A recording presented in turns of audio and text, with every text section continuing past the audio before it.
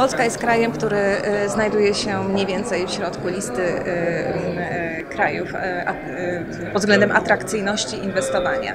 Jeżeli chodzi o firmy z kapitałem niemieckim, od lat Polska jest czołowym partnerem Niemiec i widzimy to zarówno w, w poziomie, Niemcy są głównym dostawcą towarów w Polsce, jak również są, mają bardzo duży udział w naszym e, eksporcie.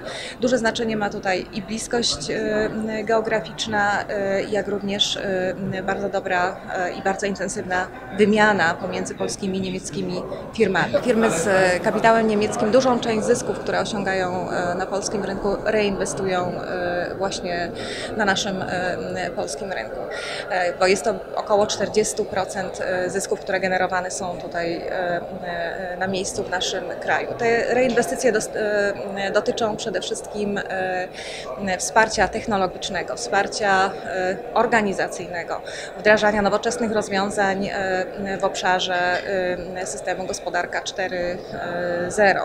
Dotyczą kształcenia i kwalifikacji pracowników.